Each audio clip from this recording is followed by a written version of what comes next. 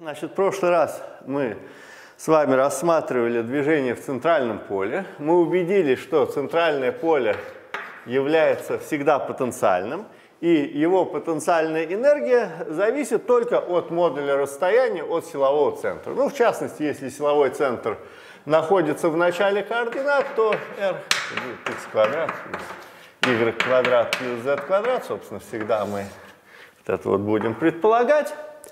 Вот. Ну и было в прошлый раз показано, что движение в центральном поле всегда происходит в плоскости. Эта плоскость называется плоскостью Лапласа.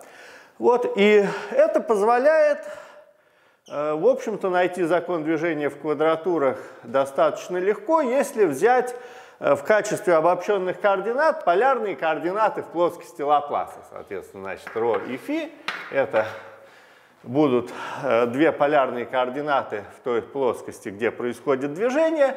Ну и после значит, некоторых усилий в прошлый раз был найден закон движения в квадратурах, который записывается следующим образом. Зависимость ρ от времени будет даваться следующим интегралом. Значит, d ρ разделить на корень квадратный 2 на m e минус u эффективная от ρ. Значит, а зависимость φ от ρ, ну или же другими словами траектория, будет даваться вот таким вот интегралом. Значит, pφ d ρ разделить на m ρ квадрат, корень квадратный 2 на m, e минус u эффективная от ρ. Значит, где было использовано следующее обозначение? У эффективная от ρ, это так называемая эффективная потенциальная энергия, по определению это есть U от ρ плюс pφ в квадрате на 2m ρ квадрат. Вот такое вот выражение. Значит, в данном случае, естественно, E и pφ это интегралы движения, которые определяются из начальных условий, ну, соответственно, обобщенная энергия и э, компонент обобщенного импульса по φ. Хорошо, значит, в прошлый раз также мы научились качественно исследовать движение, поняли, что для этого надо нарисовать график эффективной потенциальной энергии. Значит, э, области классически допустимые, в которых может происходить движение, они определяются вот таким вот условием, когда значит, полная энергия больше, чем эффективная. Вот, ну и в зависимости от того, как выглядит эффективная потенциальная энергия, могут возникать различные случаи движения. В прошлый раз мы ну, просто нарисовали некоторые два абстрактные потенциала и провели качественные исследования для них. Ну, а сегодня начнем с того, что рассмотрим некоторый конкретный пример – Вначале попробуем качественно исследовать движение в этом случае, ну а потом попытаемся вычислить вот интеграл, определяющий траекторию движения, и сравнить результат э, этого вычисления с качественным исследованием движения. Хорошо, итак, значит, задача будет следующая.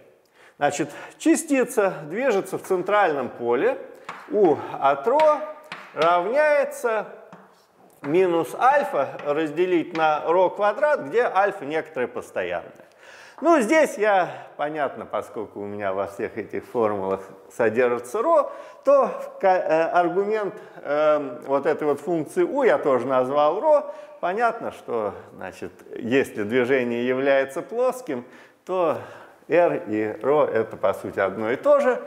Вот, но тем не менее, поскольку во всех формулах стоит буква ро, то и здесь аргумент я тоже буду обозначать ро. Хорошо, собственно, для этого потенциала мы с вами попробуем провести качественное исследование движения, ну а потом сравнить результат с траекторией, которая вычислена в соответствии вот с этой формулой. Хорошо, итак, значит, для того, чтобы провести качественное исследование движения, необходимо сначала нарисовать график эффективной потенциальной энергии. Ну, в данном конкретном случае эффективная потенциальная энергия э, будет записываться следующим образом. Поскольку здесь единица на ρ квадрат и здесь единица на ρ квадрат, то эффективную потенциальную энергию можно записать вот таким вот образом. 2m единица на ρ квадрат. И из этого выражения понятно, что возможны два различных случая – когда э, константа, стоящая вот в этой скобке, положительна, и когда константа, стоящая в этой скобке, отрицательна. И эти два случая будут соответствовать, конечно, совершенно различным характерам движения. Итак, рассмотрим случай А, когда p фи в квадрате на 2m минус альфа больше нуля. Ну, случай равно нулю я для простоты, наверное, рассматривать не буду. Вот, остановлюсь на тех случаях, которые являются, в общем-то, нетривиальными. Хорошо. Значит, в этом случае эффективная потенциальная энергия, очевидно, будет являться положительной, и график ее ну, будет представлять собой ну, примерно такую вот кривую. Понятно, что в силу вот этого условия движение может существовать только при положительных значениях энергии. Как мы помним, значит, на этом графике нужно нарисовать горизонтальную прямую, которая находится от горизонтальной оси, э, от оси абсцисс на расстоянии e. Вот. И, собственно, классически разрешенная область движения будет соответствовать значит, тем значениям э, координаты ρ, для которых э, вот эта вот прямая линия проходит выше, чем э, потенциальная энергия. Соответственно, если частица у нас движется из бесконечности, то она дойдет до вот этой вот точки поворота, потом знак э, ρ с точкой изменится, и частица уйдет обратно на бесконечность. Ну, мы с вами говорили, что такая ситуация значит, ну, будет соответствовать примерно вот такому движению. Если я вот нарисую окружность радиуса равного вот этому расстоянию, то частица, двигаясь с бесконечности, ну, каким-то образом коснется вот этой вот окружности, а потом снова уйдет на бесконечность. То есть движение будет, ну, примерно вот такое. Но это, опять же, чисто качественно, вот, исходя из вот этой вот картинки. Соответственно, это будет случай 1. Хорошо. Теперь давайте мы рассмотрим случай b, когда pφ в квадрате на 2m минус альфа меньше нуля. Значит, в этом случае график эффективной потенциальной энергии будет выглядеть немножечко по-другому. Теперь я вот эту вот ось нарисую немножечко повыше. Здесь у меня по-прежнему будет U эффективная, но теперь, поскольку вот эта вот скобка является отрицательной, то и значения у эффективного также будут отрицательны, и график будет иметь какой-то вот такой вот вид. Ну и в данном случае возможны как раз два разных варианта движения – Значит, первый вариант будет соответствовать положительным значениям энергии. Ну, когда, скажем, частица движется, ну, например, из бесконечности с положительным значением энергии. Вот, и тогда понятно, ничто ей не будет препятствовать достижению значения ρ равное нулю. Понятно, что отрицательное значение ρ, естественно, принимать не может, потому что это, в конце концов, модуль расстояния до силового центра. Хорошо, поэтому в данном случае частица, вот в этом втором случае, просто упадет на силовой центр, сделав там какое-то количество оборотов. Вот. То есть вот это вот соответствует случаю 2.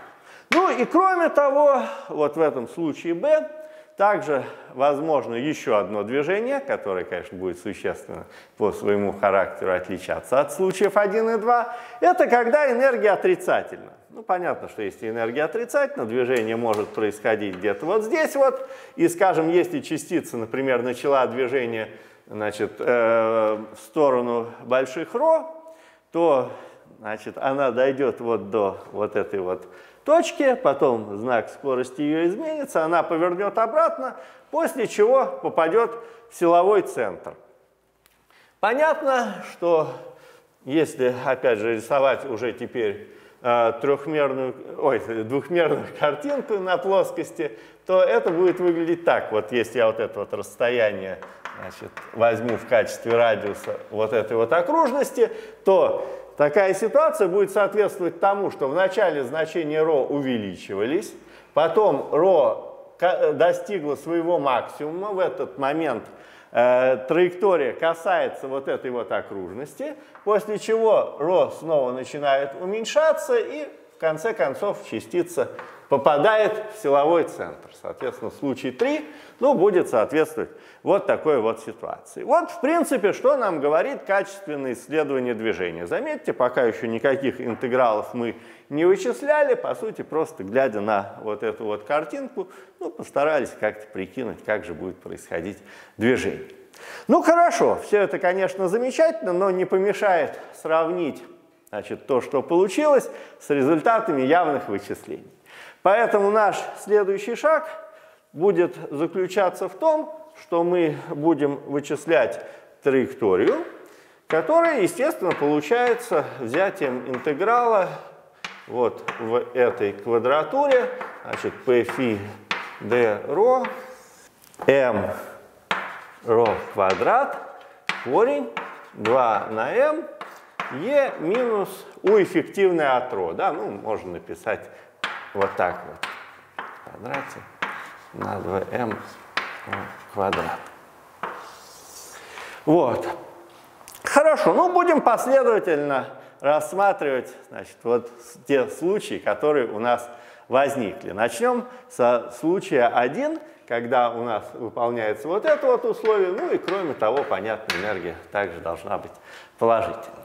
Хорошо, значит, в случае 1 Значит, фи минус фи нулевое равняется плюс-минус интеграл ро нулевое ро p фи d ро разделить на m ро квадрат, корень квадратный, ну, подставляем выражение для потенциальной энергии, будет 2m e минус, э, так, ну, чтобы не работать с положительной величиной, наверное, имеет смысл вот так вот написать. Единицы на ρ квадрат. И, собственно, если я вот так вот представлю это выражение, то вот эта вот величина e будет положительна, и вот эта вот величина, которая стоит в скобочке, вот она как раз ровно вот эта вот величина, будет также являться в случае 1 положительной. Хорошо, ну, собственно, остается только вычислить интеграл. Это, в общем-то, делается не очень сложно. Для этого фактически используется замена u равняется единице на ро, собственно, замена будет у нас вот такая вот. Ну, понятно, du будет равно минус единице на ро квадрат d ро. Вот, и после того, как я вот эту вот замену произведу, ну, d ро фактически соединяется вот с этим ро квадрат. Ну, и вот здесь возникает u квадрат. Соответственно, тогда уравнение траектории может быть записано в виде φ минус φ нулевое равняется, ну давайте минус плюс с учетом вот этого минуса. Значит, интеграл, ну пока я пределы ставить не буду, чтобы как бы все было немножечко покомпактнее. Значит, сверху у меня остается du, pφ, разделить на m, корень квадратный, 2 на m, e минус pφ в квадрате на 2m минус альфа на u квадрат. Ну, понятно, что этот интеграл, естественно, сводится к стандартному известному интегралу, который уже нам встречался. Ну, давайте попробуем это аккуратно сделать. Хорошо, вначале я вношу pφ и m под корень. Значит, в результате у меня получается минус плюс интеграл du разделить на корень квадратный 2me разделить на pφ в квадрате. Так, минус. Теперь, значит, здесь вот эта вот штука даст просто единицу. Минус 2m альфа разделить на pφ в квадрате на u в квадрате. Так, ну вот интеграл можно записать вот таким вот образом. Значит, после чего, чтобы свести его к стандартному интегралу, ну вот это вот выражение нужно вынести за скобочку. Соответственно, значит, будет равно минус плюс интеграл du. Так, сначала пойдет корень из вот этого выражения. Единица минус 2m альфа на p фи в квадрате. Вот так вот. Ну, а, собственно, значит, остается под корнем следующее выражение. Ну, собственно, здесь будет минус u квадрат, ради чего я как раз и вынес вот это вот выражение. Ну, а здесь, соответственно, будет 2me, значит, разделить. Ну, а p квадрат, он умножится вот на эту вот вещь, и получится, соответственно, p в квадрате минус 2m альфа. Вот, хорошо. Ну, после этого, собственно, воспользуемся известным результатом, что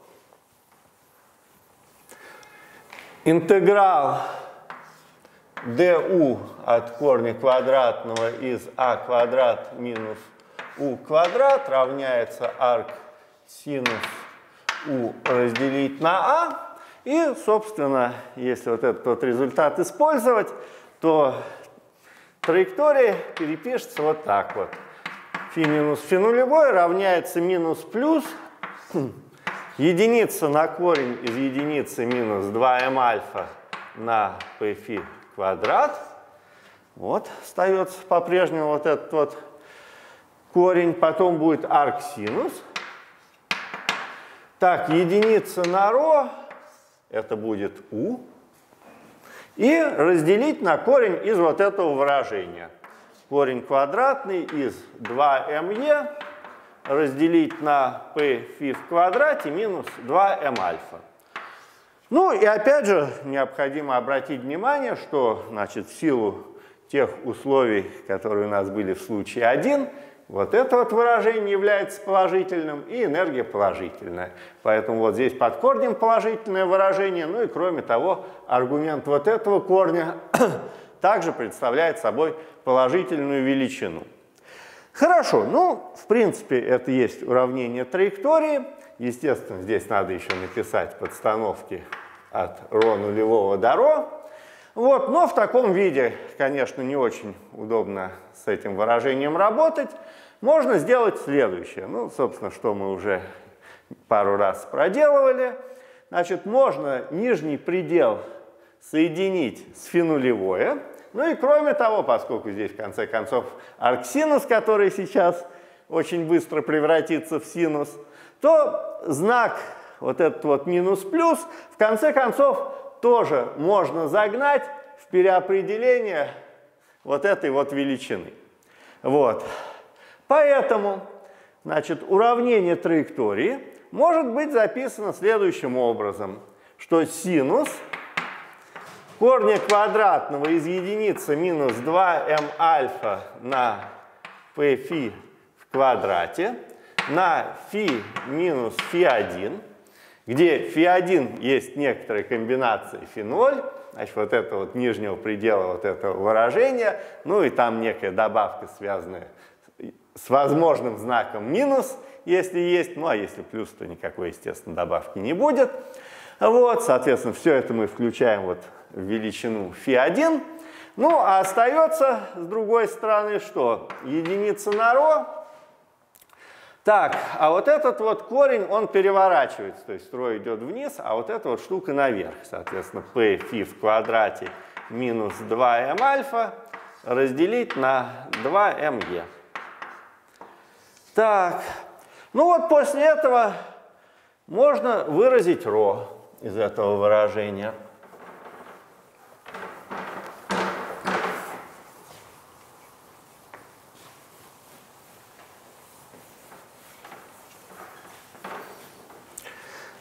Так, ро равняется. Так, ну, главное аккуратно. Значит, ро у нас пойдет в эту сторону, а синус пойдет вниз. Соответственно, вот этот корень у нас остается без изменений.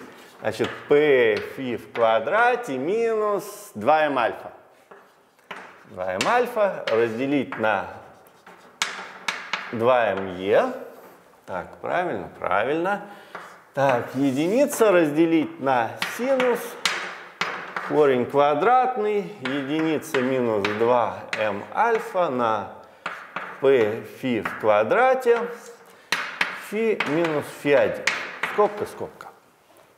Ну хорошо, вот фактически в явном виде уравнение траектории в случае 1. Ну, остается сравнить его с тем, что мы получили э, при качественном исследовании движения. Значит, давайте попробуем понять, как же выглядит эта кривая. Хорошо. Значит, прежде всего мы замечаем следующее, что если угол φ будет равен φ1, то аргумент синуса будет 0, сам синус тоже будет равен нулю, конечно же, и получится, что ρ, ну, будет там пропорционально единице делить на очень малую величину, то есть ρ будет фактически бесконечно большим. То есть при φ равное φ1, ρ будет стремиться к бесконечности. Хорошо. Предположим теперь, что угол φ1 начинает возрастать. Ну тогда синус начинает принимать какие-то конечные положительные значения. И величина ρ оказывается, ну, какой-то конечной. Понятно, что если синус у нас возрастает, то ρ убывает, поскольку в выражении для ρ стоит единица делить на синус. Вот. Ну и в конце концов значение ρ достигнет э, некоторого минимального, некой минимальной величины, когда вот этот синус достигнет своего максимума. Ну, а понятно, значит, максимум синуса будет, естественно, равен единице.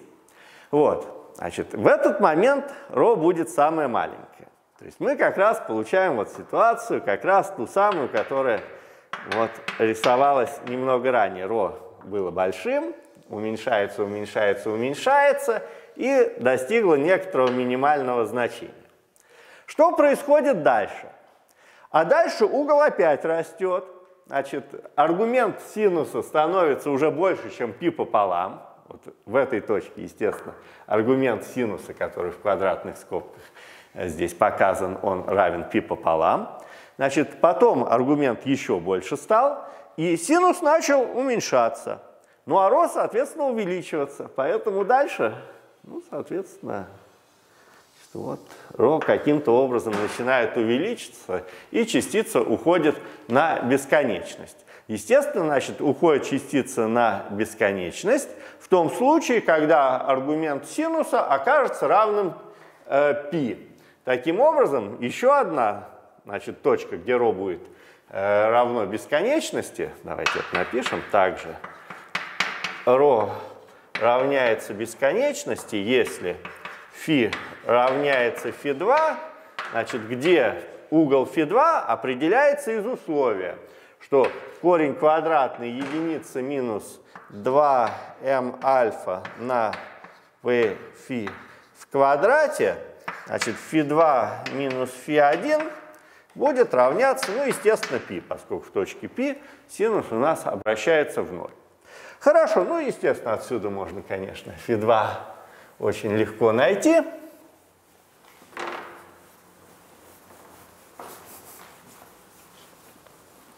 Значит, φ2 будет равняться φ1 плюс π разделить на вот этот вот корень, единица минус 2m альфа на p φ в квадрате. Вот, собственно, второе значение угла, при котором частица уходит на бесконечность. Ну и понятно, за все движение частицы изменение угла дельта φ будет равно, естественно, φ2 минус φ1, будет равно π разделить на единицы минус 2m альфа на p φ в квадрате. Вот. Что соответствует тому, что частица сделает вокруг силового центра следующее число оборотов n естественно, число оборотов получается делением величины дельта φ на 2π, ну и, соответственно, это будет единичка разделить на 2 корня квадратных 2m альфа на πφ в квадрате. Вот число оборотов, которые частица сделает вокруг силового центра. Значит, понятно, что если альфа отрицательно, то число оборотов, оно будет, понятно, меньше половинки. Ну, это будет немножечко картинка отличная от вот этого случая. Та картинка, конечно, нарисована для случая притяжения. Вот. А как раз в случае притяжения, когда альфа больше нуля, ну, на самом деле число оборотов может быть сколь угодно большим. Все, в общем-то, определяется величиной вот этого выражения, а в нем стоит pφ, который определяется из начальных условий. Поэтому, ну, если там нужным образом pφ подобрать, то число оборотов, конечно, можно сделать очень-очень большим. Хорошо, таким образом, действительно, значит, явное вычисление значит, интеграла и явное нахождение траектории ну, показывает, что действительно наши простые рассуждения, основанные на качественном исследовании движения, ну, вполне согласуются вот с этой достаточно сложной формулой, ну, естественно, в случае 1. Хорошо, ну давайте рассмотрим и два другие случая, поскольку, собственно, было бы интересно посмотреть, а получается ли, так сказать, э, движение и в двух оставшихся вариантах тоже. Ну, собственно, давайте это, этим и займемся. Итак, перейдем теперь к случаю 2. Значит, случай 2, я напомню, он у нас соответствовал движению частицы из бесконечности и с падением на центр. В этом случае у нас p φ в квадрате на 2m минус альфа меньше нуля. Вот такая ситуация. И с другой стороны, e у нас должно быть положительно. Хорошо, таким образом, случай 2 соответствует вот этим вот двум условиям. Ну и давайте напишем аналогичный интеграл, который значит, здесь получается. Так, значит, у нас фи минус фи нулевое равняется плюс-минус интеграл ро нулевое ро, значит, p фи d ро разделить на m ро квадрат, корень квадратный, 2 на m, e минус u эффективное. Значит, будет, ну, теперь я напишу, наверное, вот так вот, плюс альфа минус p фи в квадрате на 2m единица на ро квадрат. Так, скобочка закрывается. Вот, и теперь в соответствии вот с условиями, написанными выше, вот эта вот скобочка будет положительно, и вот это вот значение e также будет положительно. Ну вот, в отличие от случая 1, у нас вот здесь вот теперь другой знак, плюс. Хорошо, ну, давайте также, значит, предположим, что у нас, ну, пусть для определенности pφ положительно, значит, ну и в этом выражении, чтобы у нас ρ уменьшалось, мы возьмем знак минус. Значит, у нас дальше будет значит, положительное значение pφ для определенности и знак минус здесь, что соответствует как раз тому, что частица движется из бесконечности к силовому центру. Хорошо. Значит, ну опять же, все то же самое. Значит, делаем замену. U равняется единице на ρ, соответственно, du равняется минус единица на ρ квадрат dρ, э, после которой, ну, с помощью аналогичных преобразований, мы получаем, в общем-то, также интеграл, который будет достаточно похож на то, что было в случае 1. Так, ну, наверное, я все-таки в уме не смогу, значит, сразу этот интеграл написать, но, тем не менее, значит, попробую так эти преобразования сделать побыстрее. Соответственно, здесь будет du, здесь будет корень квадратный, 2e, потом m окажется у нас сверху, p фи в квадрате будет внизу, а здесь теперь будет у нас плюс 2m альфа на pφ в квадрате минус единичка на u квадрат. Причем вот это выражение будет являться так же, как и вот это. Оба эти выражения окажутся положительными. Так, сейчас проверим. Так, вроде бы, вроде бы похоже. Так, хорошо, хорошо. Значит, теперь, ну, более-менее понятно, что там вынеся какой-то множитель, мы это выражение сейчас сведем вот к такому интегралу. Значит, интеграл du корень квадратный из а квадрат плюс у квадрат. Значит, ну это выражение, конечно, в таблицах интегралов значит, присутствует. Значит, дается значит, результат достаточно хитрой формулы, там какой-то логарифм от какого-то достаточно хитрого длинного аргумента. Но мы постараемся значит, этот логарифм не выписывать, а попробуем пойти немножечко другим путем. Чтобы посчитать вот этот вот интеграл, мы сделаем следующую замену. Положим u равным а умножить на гиперболический синус кси. Ну, понятно, естественно, du будет равно а косинус гиперболический кси на dxi. Значит, после этого рассматриваемый интеграл окажется равным следующему. а косинус гиперболический кси dxi разделить на а корень квадратный из единица плюс синус в квадрате гиперболический кси – вот, и видно, что А сверху снизу уничтожается, а здесь у нас получается ну, ровно косинус гиперболический, поэтому вот эта штука уничтожится вот с этим корнем. И останется просто интеграл dxi, ну, который, естественно, довольно легко берется. Получится просто кси. Ну, речь идет, естественно, о неопределенном интеграле, константу я отбрасываю. Хорошо, а теперь выразим кси вот из этого равенства это будет арк шинус гиперболический у разделить на а.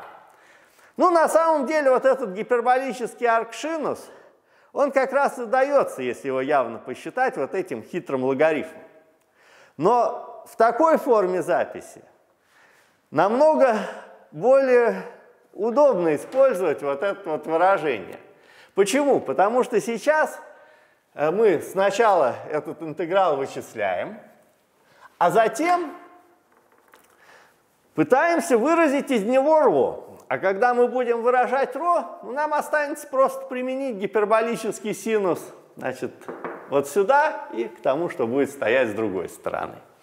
Хорошо, это, конечно, сделать будет, естественно, намного проще, чем применять значит, гиперболический синус к какому-то там хитрому логарифму. Хорошо, равняется. Давайте попробуем этот интеграл вычислить. Ну, во-первых, конечно, надо не забыть вот этот вот корень вынести.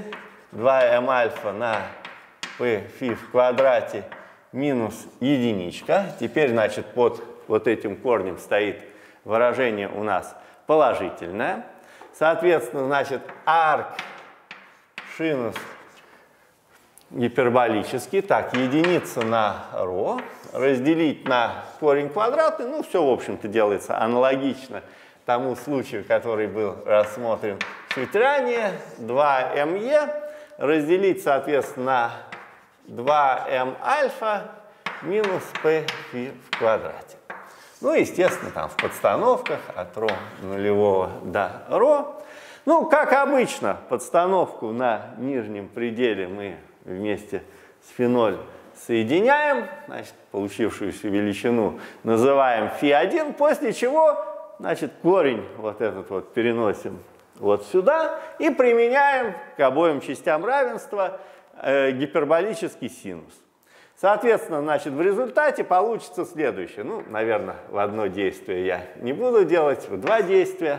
Значит, 2m альфа на p фи в квадрате минус 1 Значит, вместо феноль будет фи1, который будет также включать в себя вот этот вот нижний предел.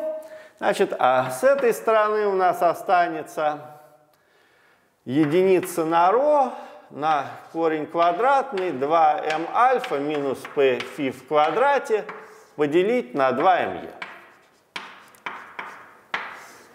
Вот. Ну и как в прошлый раз выражаем ρ. Соответственно, значит, ρ будет равняться корень 2m альфа минус p фи в квадрате разделить на 2me. Так, и единица теперь уже на гиперболический синус. Корень квадратный. Так, было видно.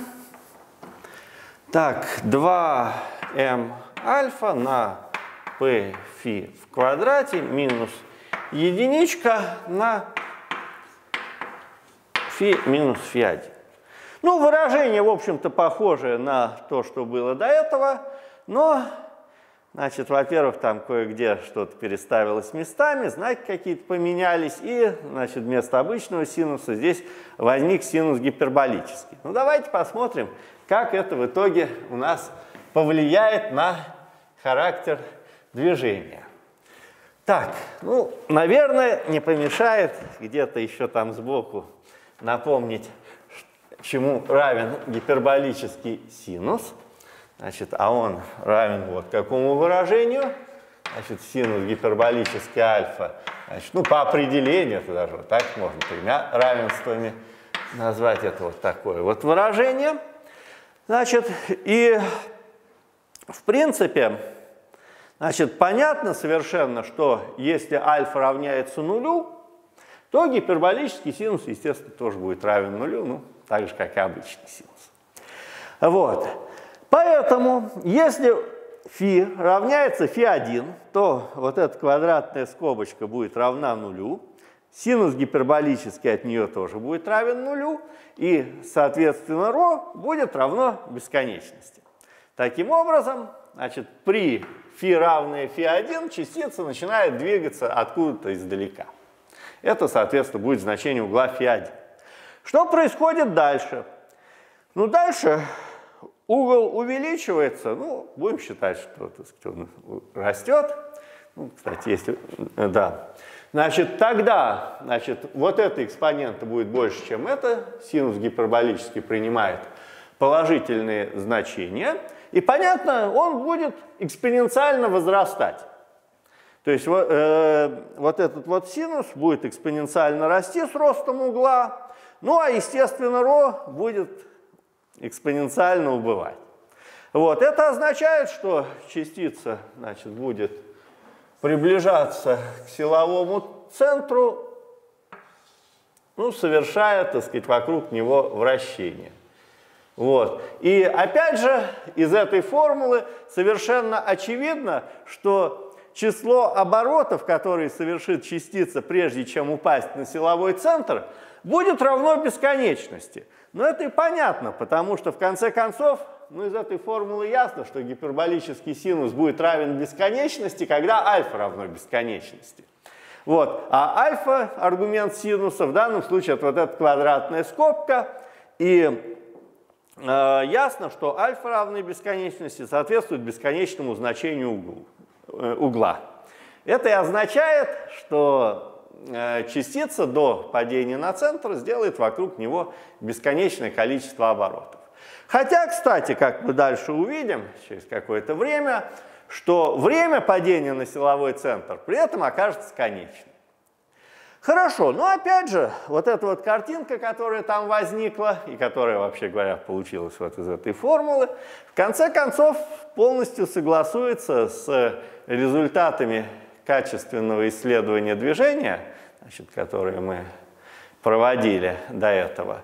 И поэтому действительно в случае 2 вроде бы все получилось вполне нормально. Ну, собственно, осталось у нас последнее усилие. Давайте мы с вами попробуем рассмотреть теперь случай 3. Так, опять же, не помешает напомнить, что это за случай. Снова нарисуем график эффективной потенциальной энергии. Эффективная. Здесь ρ. Вот, и случай 3 соответствует отрицательным значениям энергии. То есть в случае 3 у нас p фи в квадрате на 2m минус альфа будет меньше нуля раз, и энергия также будет меньше нуля. Хорошо, опять же давайте вычислим интеграл, определяющий траекторию в этом случае. Хорошо, значит, фи минус фи нулевое равняется плюс-минус интеграл ро нулевое до ро, p фи d ро,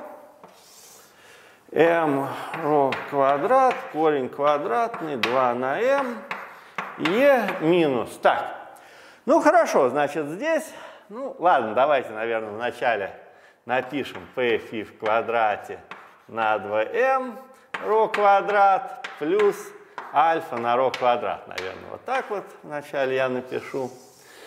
Хорошо. Ну, давайте опять же попробуем, значит, э, здесь выбрать для определенности положительное значение pφ. Ну и давайте, пусть у нас знак будет плюс, что соответствует тому, что в начальный момент времени у нас э, частица будет двигаться от центра.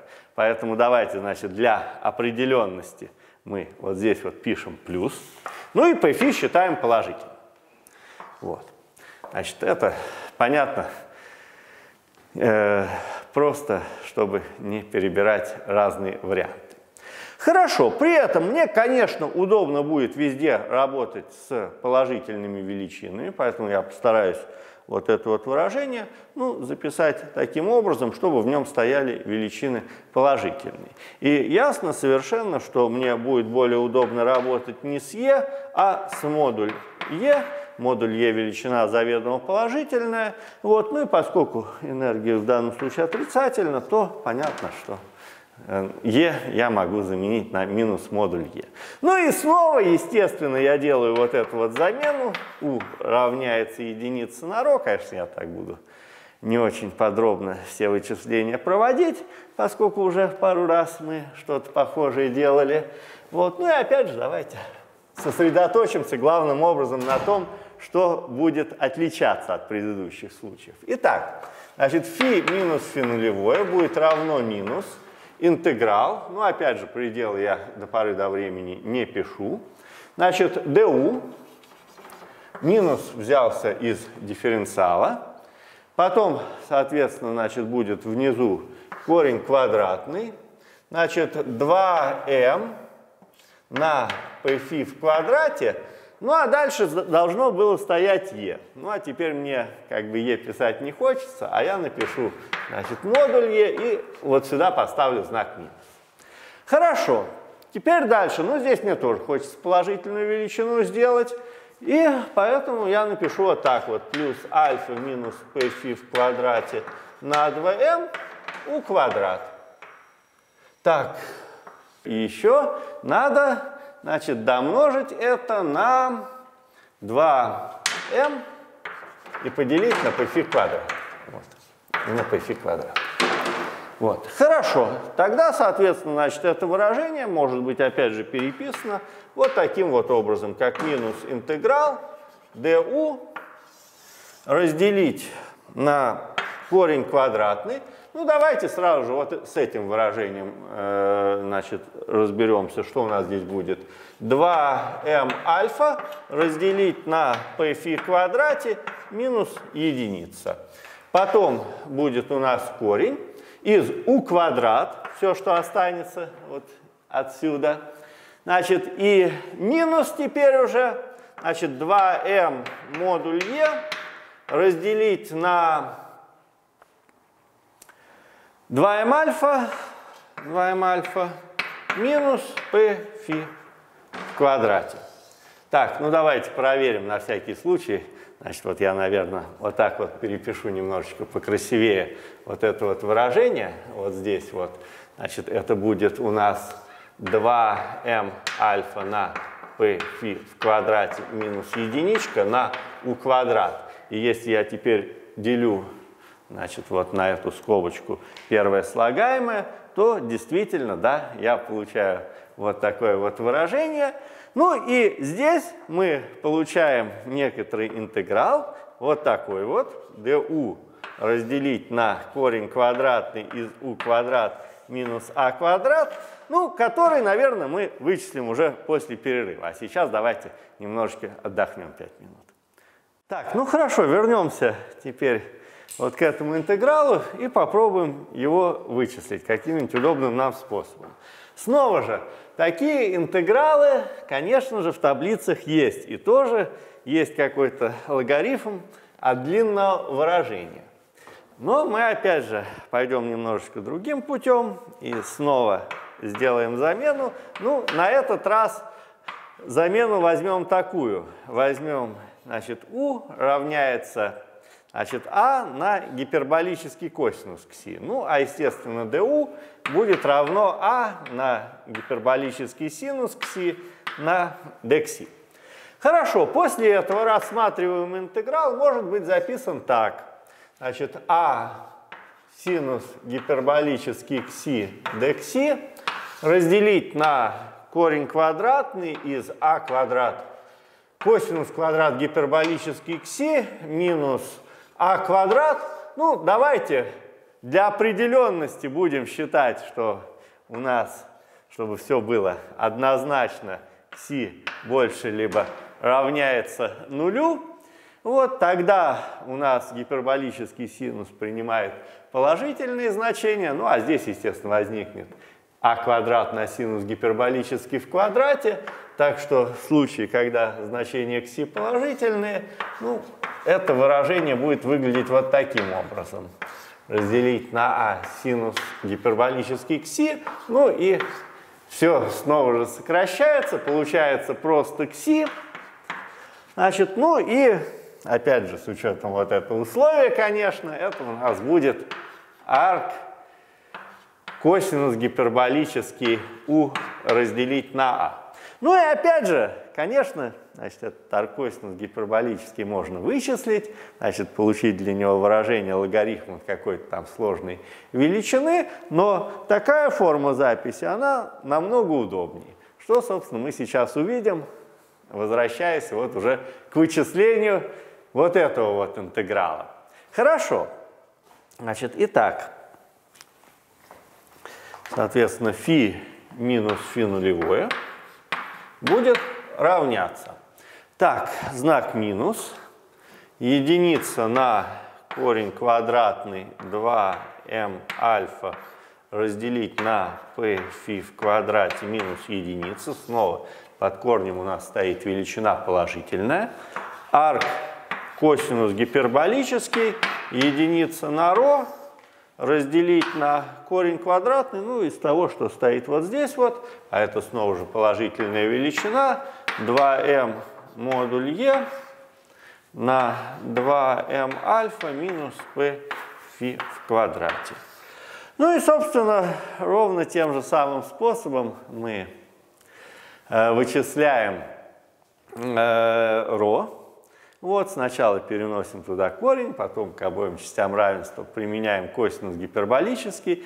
Вот, ну, естественно, значит, конечно, надо написать начальные условия, значит, соединить нижний предел с феноль, получится какой-то фи1.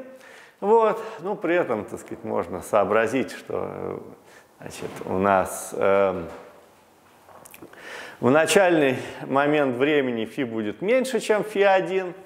Вот, Хорошо.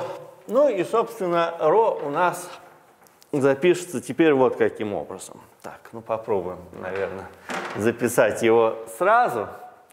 Так. Так.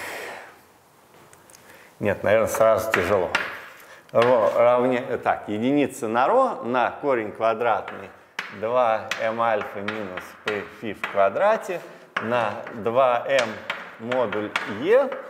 Значит, вот такая здесь возникает величина. Это будет равно, ну, гиперболический косинус, естественно, четная функция. Соответственно, значит, косинус гиперболический, скобка, корень 2m альфа на p фи в квадрате минус единичка на фи минус фи1, ну, где фи1, как обычно, у нас представляет собой некую комбинацию там феноль и нижнего предела, который здесь возникает. Ну, теперь уже ρ можно выразить. Соответственно, ρ будет равняться, значит, корень 2m альфа минус pφ квадрат на 2m модуль e на единицу на вот этот вот гиперболический косинус.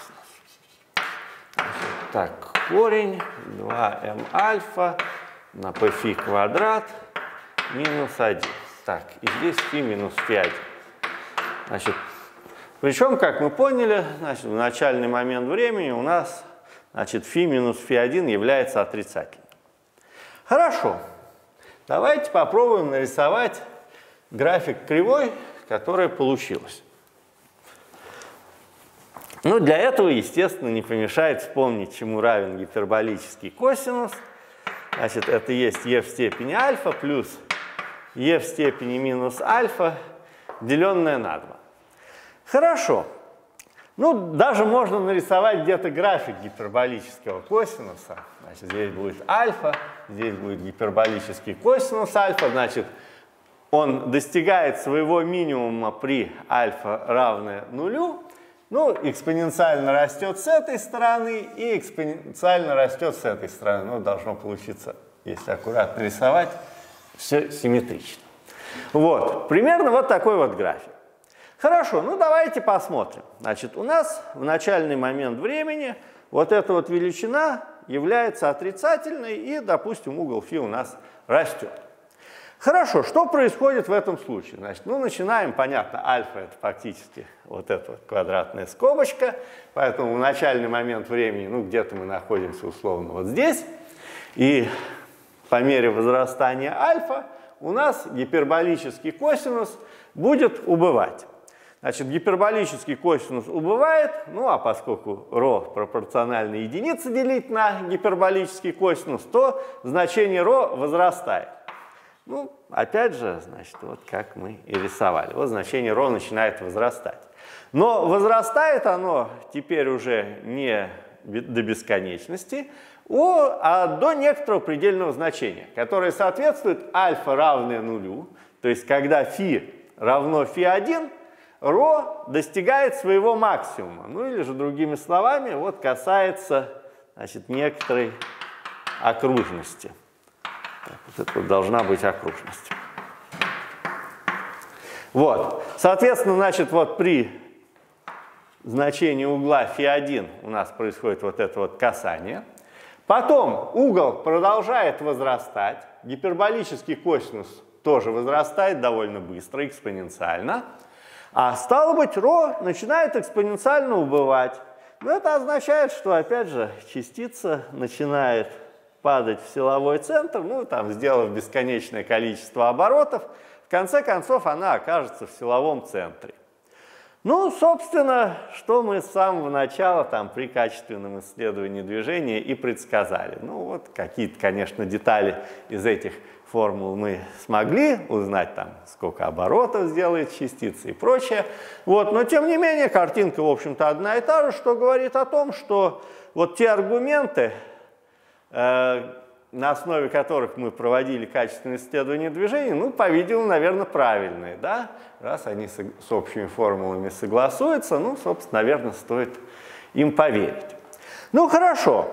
Значит, давайте теперь выясним все-таки, за какое время у нас частица упадет на центр. Ну и вообще говоря, давайте зададимся еще и таким вопросом. При каких условиях в этой задаче возможно падение на центр? Ну, дело в том, что хотя мы, конечно, условия падения на центр по большому счету уже сформулировали, но в этих условиях стоят ну, некоторые величины, там e и pφ, которые, вообще говоря, ну, непонятно чему равны. Вот, давайте мы теперь задачу сформулируем как-нибудь более конкретно. Значит, вот у нас тот же самый потенциал, у от ρ равняется минус альфа на ρ квадрат. Ну, теперь для определенности пусть у нас будет альфа больше нуля в случае притяжения.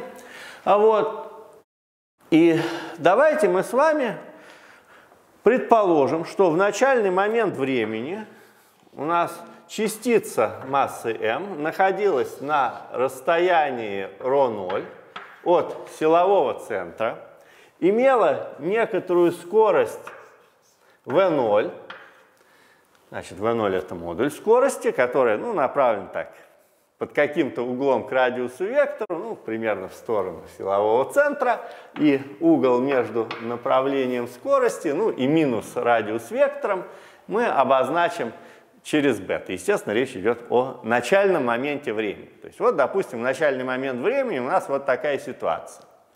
И первое, с чего мы начнем, мы попробуем выяснить вопрос такой.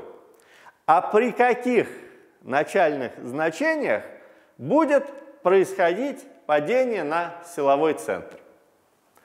Хорошо, что для этого нужно сделать? Ну, сначала, конечно, значит, провести качественное исследование движения, которое мы уже сделали. Ну и по сути мы с вами поняли, что падение на силовой центр, оно у нас имеет место вот в такой вот ситуации, ну, неважно, и с положительной энергией, и даже с отрицательной энергией тоже падение на силовой центр будет происходить. Но самое главное, что Значит, вот эта вот кривая находится в отрицательной области, то есть выполняется условие p фи в квадрате на 2m э, минус альфа, так, э, соответственно, должно быть меньше нуля. Вот. Должно быть вот такое условие. Хорошо. Значит, вот фактически условие падения на центр – и остается ну, просто понять, чему будет равен pφ в данном случае. Ну, для этого не помешает вспомнить выражение для pφ, которое было получено в прошлый раз.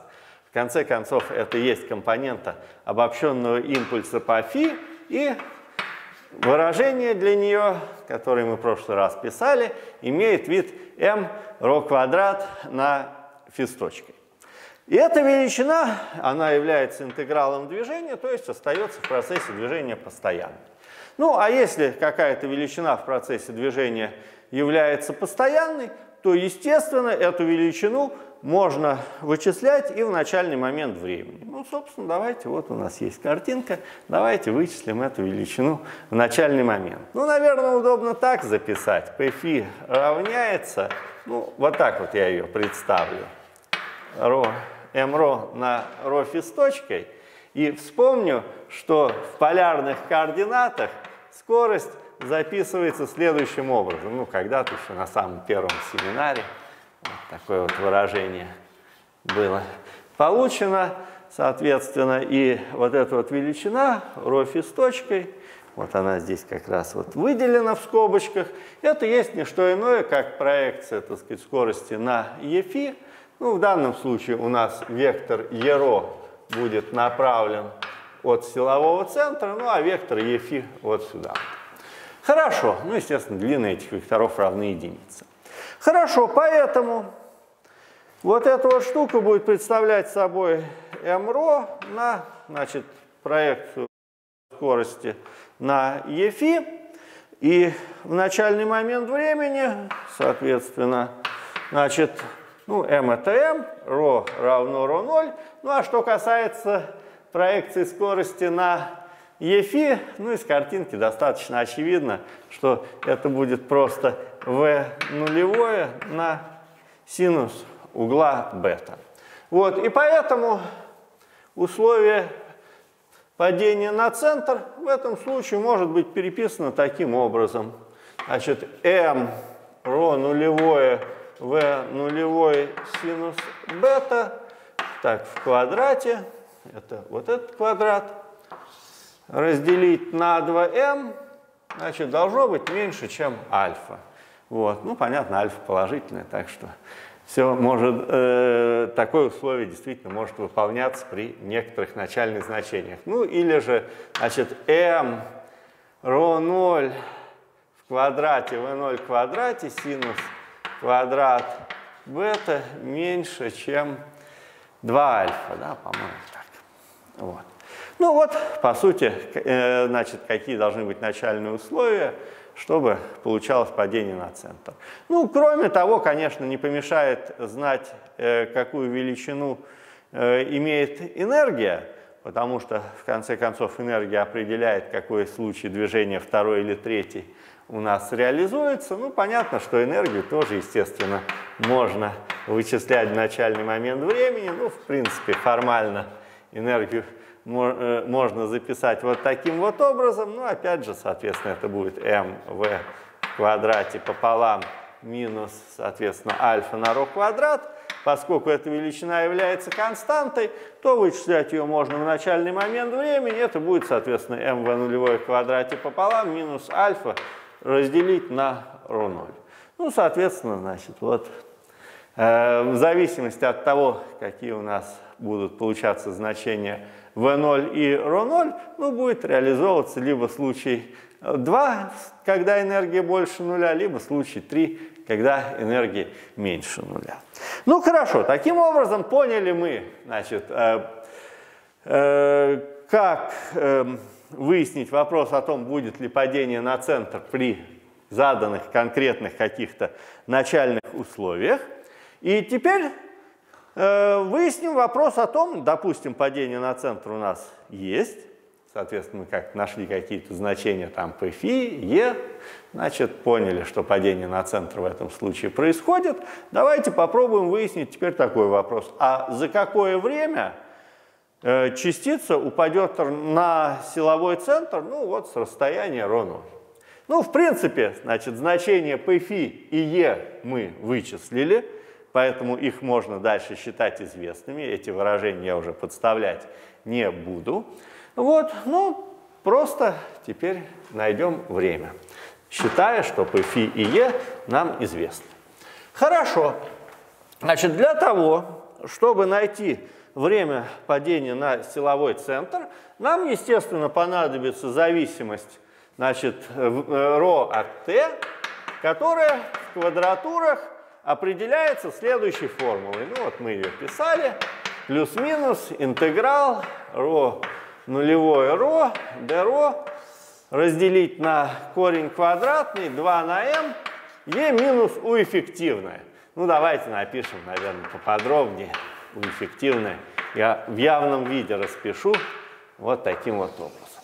Это будет соответственно.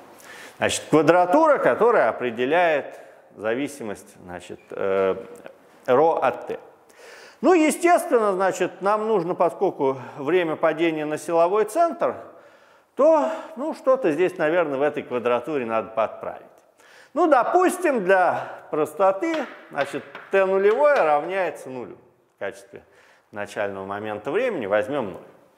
Теперь, в конечный момент времени частица у нас падает на силовой центр, поэтому вот это вот значение ρ надо, естественно, положить равным нулю.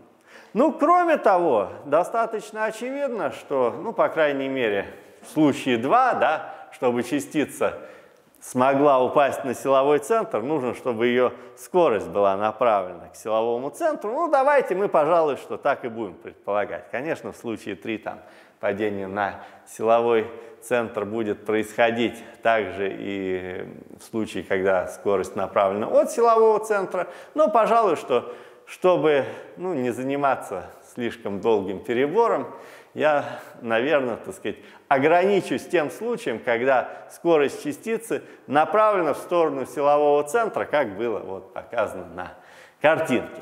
В этом случае, значит, вот здесь вот я должен, естественно, взять знак минус, поскольку вот этот вот знак плюс-минус, ну, это в конце концов значение ρ с точкой. И поэтому формула, которая мне будет давать э, время падения на силовой центр, может быть записана вот таким образом. Минус ρ нулевое 0, пределы интегрирования, значит, dρ разделить на корень квадратный, 2 на m, e, а, так, плюс альфа на ρ квадрат, минус p фи в квадрате на 2m ρ квадрат. Ну, естественно, значит, пределы интегрирования я сейчас местами, конечно же, переставлю и знак поменяю. Ну, равняется, давайте, пожалуй, что пускай это очевидная вещь сразу же будет сделано. Ну и, пожалуй, что я еще сразу же, чтобы какие-то преобразования сразу были сделаны, наверное, значит, величину ρ квадрат из-под корня вынесу и, значит, помещу остающееся ρ наверх. Соответственно, значит, тогда под корнем останется 2 на m, e ρ квадрат плюс альфа минус p фи в квадрате на 2m. Ну вот, после этого достаточно очевидно, что значит, ρ можно соединить с дифференциалом там, в половинку дифференциала от ρ квадрат, ну и получившийся интеграл, конечно, сводится к интегралу от корня и легко берется. Ну, давайте на всякий случай, значит, будем все делать аккуратно, значит, и переберем, значит, две возможности, которые, значит, здесь имеются. Значит, случай, давайте, какой там был, второй, да, когда у нас e больше нуля, значит, для положительной энергии, соответственно, значит, здесь время падения на силовой центр может быть записано следующим образом. Ну, вот это вот e будет положительно, соответственно, значит, константу я могу вытащить. Тогда у меня здесь получится корень квадратный из m разделить на 2e, это будет вот эта вот константа. Ну, а оставшийся интеграл, значит, будет такой интеграл от нуля до ρ нулевого, значит, ρ dρ разделить на корень квадратный из ρ квадрат плюс альфа разделить на e минус pφ в квадрате на 2me. Так, правильно, все разделили, да, вроде так. Ну, интеграл это, естественно, сразу можно сказать, чему равен. Значит, это будет корень из m поделить на 2e. Ну, а здесь понятно, корень, дифференциал ρ квадрат и под корнем тоже ρ квадрат. Поэтому значит, интеграл просто будет представлять собой корень из ρ квадрат плюс альфа на e минус pφ в квадрате на 2m ρ квадрат. Вот, если я продифференцирую это выражение, то корень окажется внизу. Значит, при дифференцировании корня по аргументу возникнет множитель 1 вторая. А при дифференцировании аргумента по ро возникнет множитель 2 ро. Вот. Ну и, соответственно, 1 вторая, там, умноженная на 2 ро, дадут как раз вот это вот ро. Поэтому, собственно, больше ничего здесь не будет. Ну, естественно, значит, пределы должны быть здесь аккуратно написаны. Хорошо, ну и, собственно, значит, осталось немного, осталось написать ответ. Так, эту формулу, пожалуй, что мы сохраним для случая 3. Вот. А ответ вот напишем вот здесь вот.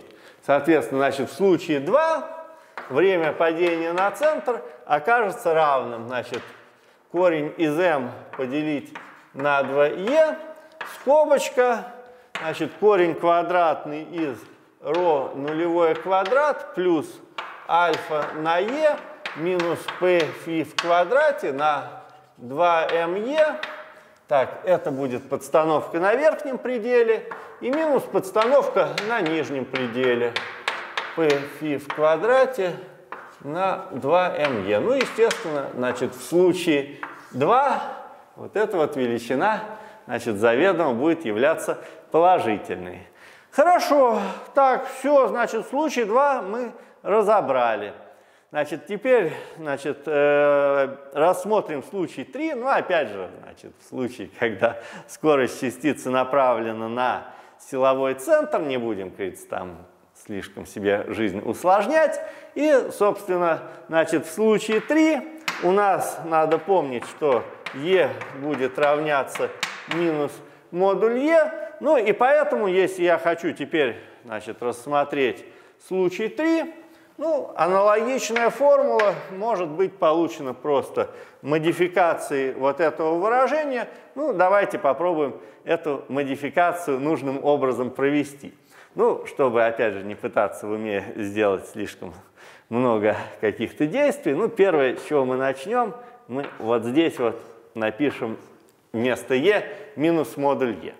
Вот, и тогда, наверное, значит, модифицировать те формулы, которые написаны э, с левой стороны, будет немножечко попроще. Итак, понятно, что теперь, ну, такую величину явно не хочется выносить из-под корня, потому что под корнем будет величина отрицательная. И, конечно, прямой смысл вот здесь вот написать модуль Е, соответственно, значит, вынести модуль. Тогда, значит, вот здесь вот будет знак минус, вот он будет, вот здесь вот. Ну, а здесь, естественно, значит, у нас появится просто не Е, а модуль Е. Так, ну, вроде бы, вроде бы разумно. Хорошо, значит, ну, продолжаем, опять же, модифицировать это выражение. Здесь мы пишем, значит, модуль Е. Ну, а здесь давайте подумаем, что надо написать. Ну, здесь понятно, модуль Е. Так, стоп, модуль... Э, так, здесь должен быть модуль Е. Вот, а там раньше должен быть, был быть Е. Вот здесь почему-то он получился правильный, ну а там вот, да, была опечатка. Хорошо, теперь здесь должен быть, конечно, модуль Е. Модуль Е, и, конечно же, знак минус должен стоять здесь. Ну, это еще не все модификации, потому что если я такой вот корень продифференцирую, то после того, как я продифференцирую аргумент, я получу не 2 ро, как раньше, а минус 2 ро. Поэтому, конечно, еще общий знак минус в третьем случае должен возникнуть. Соответственно, чисел будет еще знак минус. Ну и, собственно, значит, в случае теперь уже 3, опять же, время падения на силовой центр может быть получено вот таким вот образом. Ну, давайте, наверное, сотрем это выражение. Соответственно, перепишем заново. Значит, корень из m поделить на 2 модуль e, это величина у нас положительная, скобочка. Так, ну давайте начнем с чего? Значит, начнем с подстановки на нижнем пределе, потому что она входит со знаком минус, еще вот здесь знак минус есть. Поэтому будет корень квадратный из альфа на модуль Е минус p фи в квадрате на 2m модуль Е. А подстановка на верхнем пределе теперь уже будет иметь знак минус. И, соответственно, будет минус ро 0 квадрат плюс альфа на модуль Е минус p фи в квадрате поделить на 2m модуль Е. Так, ну вот. Вот, соответственно, значит, время падения будет случай 3. Хорошо, ну что видно? Видно, в принципе, что и во втором, и в третьем случае время падения оказывается конечным. Таким образом, частица упадет на силовой центр за конечное время, ну, несмотря на то, что количество оборотов, которые она сделает вокруг силового центра, будет бесконечно. Так, ну хорошо, значит, все с этим. Значит, небольшое домашнее задание. Домашнее задание. Так. Значит, первая задачка. Значит, рассмотрим потенциал. У от r равняется минус альфа разделить на r в кубе, где альфа есть некоторая положительная величина. Значит, э, домашнее задание будет такое.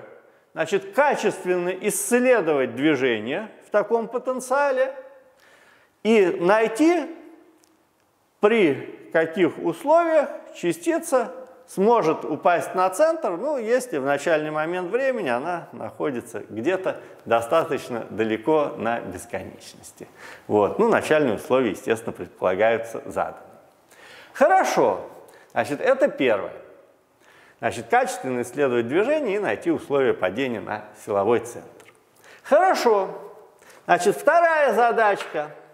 Ну, в принципе, эта задачка как раз э, та, с которой мы начинали обсуждение движения в центральном поле. Значит, мы с вами начали с того, что сообразили, что наиболее как бы естественно, наверное, решать эту задачу не в, поля, э, не Э, в каких-то там, скажем, декартовых координатах, а в координатах сферических. Вот. Тогда еще про плоское движение мы даже не знали. И в сферических координатах у нас функция Лагранжа записывалась следующим образом. минус УАТ. Значит, мы с вами поняли, что по этой функции Лагранжа, очевидно, два интеграла движения. Значит, ну, один интеграл движения, это понятно будет, энергия, да, вот такой вот.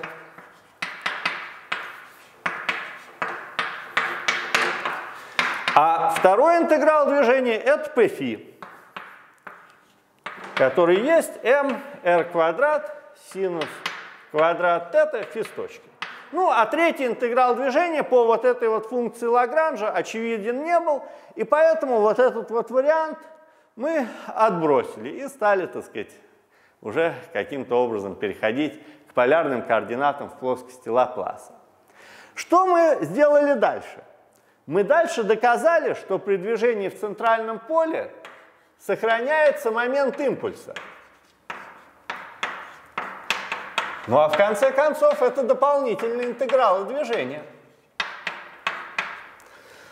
Вот, более того, некоторое время назад было показано, что проекция момента импульса на ось z, ну на EZ, значит, будет представляет собой ну ровно p фи. r квадрат синус квадрат θ фи с точкой. Ну, равняется p фи. То есть в данном случае смысл вот этой вот величины p фи это как раз проекция сохраняющегося момента импульса на ось z. И в принципе, исходя из закона сохранения момента импульса, можно сообразить, какая еще будет сохраняющаяся величина, ну, которая, так сказать, удобна для решения вот этой вот задачи. Рассмотрим величину квадрата момента импульса. В конце концов, некоторое время назад он тоже был посчитан. Значит, и выражение для квадрата момента импульса, которое там было получено, имеет следующий вид. m квадрат r в четвертой синус квадрат θ фи с точкой в квадрате плюс θ с точкой в квадрате. Ну вот на одном из предыдущих семинаров мы вот это вот выражение получили. Но поскольку момент импульса постоянен, то и квадрат момента импульса, естественно, является константой. Таким образом, у нас есть три интеграла движения. Энергия, проекция момента импульса на ось z и квадрат момента импульса. И, собственно, домашнее задание будет сформулировано следующим образом. Зная вот эти вот три интеграла движения, записать закон движения в квадратурах для частицы, движущейся в центральном поле, ну, используя в качестве обобщенных координат сферические координаты. Значит, подсказка. Какие зависимости надо найти? Понятно, что должно быть три квадратуры. Это будут зависимости r равняется r от t. Вторая зависимость θ равняется θ от r. И третья зависимость φ равняется φ от θ. То есть понятно, что нужно каким-то образом попытаться найти производную dr по dt, dθ по dr и dφ по dθ. Хорошо, значит, вот домашнее задание найти в квадратурах. Тогда на сегодня все, отдыхайте.